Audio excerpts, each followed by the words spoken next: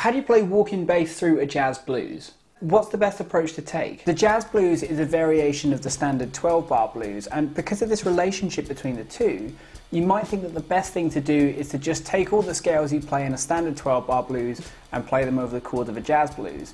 But it's not quite as simple as that. Yes, you can play Mixolydian over the 1, 4 and 5 chords, just like we talked about earlier in this series. But that knowledge alone isn't enough because a jazz blues gives us three new and unique problems that we've got to get to grips with. Problem number one, how should you play through this 6-2-5-1 progression? Problem number two, how can you avoid clashing tonalities with the other members of the band? If you want to play half whole diminished over a dominant chord, but the piano player wants to play Mixolydian, what happens then? And problem number three, what should you play through really quick chord changes, like this 2-5 here, or like the turnaround at the end of the form? Well, let's go one issue at a time, and we're gonna start with quick chord changes. So the problem here is that each chord of this 2-5-1 that goes into E flat only lasts two beats.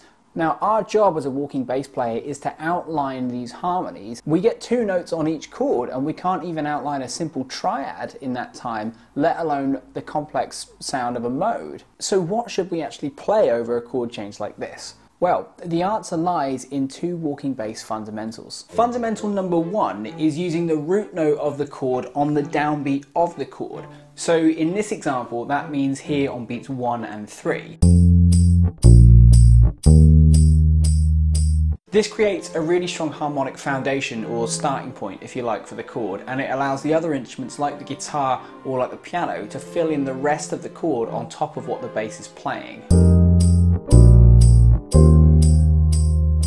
Fundamental number two is to play an approach note on beats two and four, which then leads into the root note of the next chord we're about to play.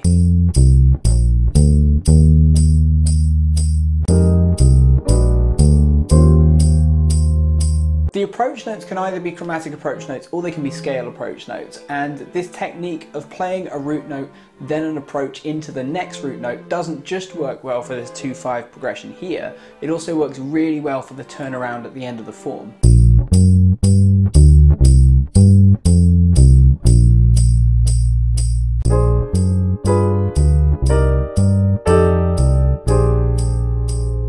So we've solved one problem so far and we've got two left. So now let's move on to looking at conflicting tonalities. As bass players, if we wanted to play Mixolydian over one of these dominant chords, it means we could imply a natural 9, a natural 11th and a natural 13th.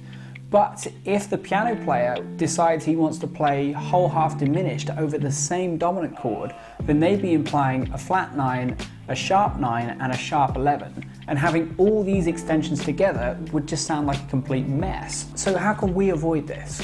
Well, there's two parts to the answer. One is harmonic and the other is rhythmic.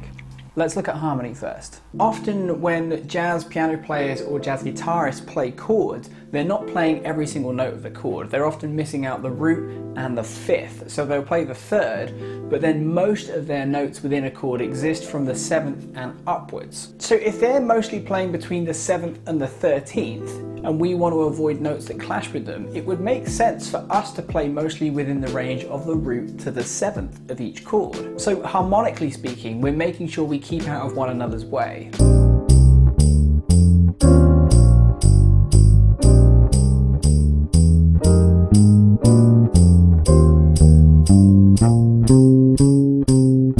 In that last example though, I was still playing plenty of notes which weren't chord tones, so what's going on there? Well, this is where the rhythmic part of our answer comes in. So in that last example, I was purposefully utilizing something known as the strong beat, weak beat principle within my playing. If you've not heard of this before, this principle states that in a bar of 4-4, beat 1 is our strongest beat, beat 3 is our next strongest beat, not quite as strong as beat 1, and then beats 2 and 4 are equally weak. So by placing chord tones on our strongest beats, beats 1 and 3, we emphasize the harmonic sound of each chord with much more strength and much more clarity. And because beats 2 and 4 carry a lot less harmonic importance, we can play scale notes on them, we can play approach notes on them without them clashing too much with the rest of the harmony. So now that we understand the strong beat weak beat principle, we can better understand how to play through that 6-2-5-1 progression at the end of the form. So the 6 chord, I'm still thinking about it in terms of a scale choice as a kind of half whole diminished, so I get that flat 9 in there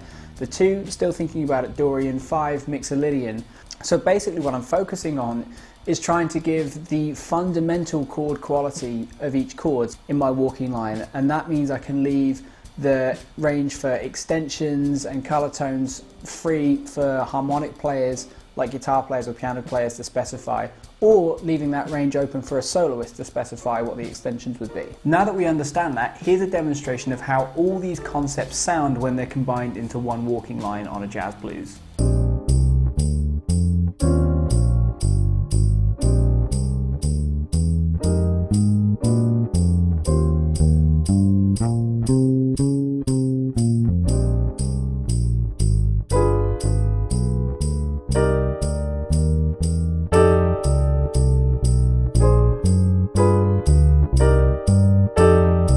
These methods can be a little bit tricky to grasp at first, but if you just persevere and put in the hard work, then you'll really see them raise the level of your walking playing up quite a lot. By no means are the techniques in this lesson a complete guide to walking bass, but a lot of the things we have looked over apply and work really well in jazz standards too. I've done a lesson on walking bass for jazz standards too, so if there's a card up here that means the lesson is out and you can go and check it out. However, if you want to brush up on fundamentals of walking bass, click the card down here in the bottom right and you can go and check out the entire series. If you've enjoyed this lesson and you feel you've got something to say about it, then please do leave your comments and thumbs up down below and also consider subscribing to the channel.